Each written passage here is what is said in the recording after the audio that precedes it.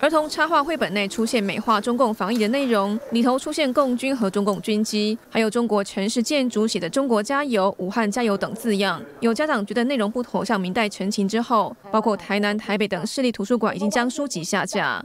我们现在发现的是，因为有家长去借了这一本童书，到了图书馆去借了这一本童书之后，或是在我们呃这个一般的。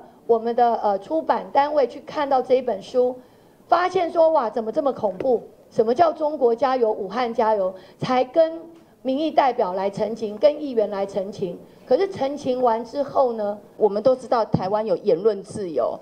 有出版自由，但是台湾的言论跟出版自由绝对不能沦为中国统战的武器。立委陈廷飞进一步表示，出版这一本书籍的中国长江儿童出版集团是中共针对控制青少年思想工作的红毒计划战略合作出版社，忧心中共洗脑青年的红毒计划入侵台湾。而文化部表示。获得授权出版该书籍的台湾出版社并没有依法申请，将要求业者说明。但是依照呃两岸关系条例，对于大陆来出版品来台，我们是定有相关的一个规定啦。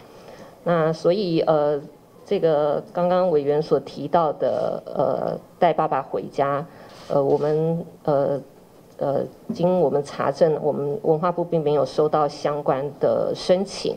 所以呃，我们也会呃发函请业者来做进一步的说明。那呃在后面的话，我们会会同呃陆委会呃来做处理哦。该绘本虽然未经申请出版，却出现在公立图书馆还有网络书店。地委表示，出版社没有依规定申请，依两岸人民关系条例可以处四到二十万，并没入出版品。另外也要求教育部等主管机关应该主动了解台湾学校与图书馆还有没有类似的红色书籍入侵。新唐人是林玉堂、刘自英、唐团报道。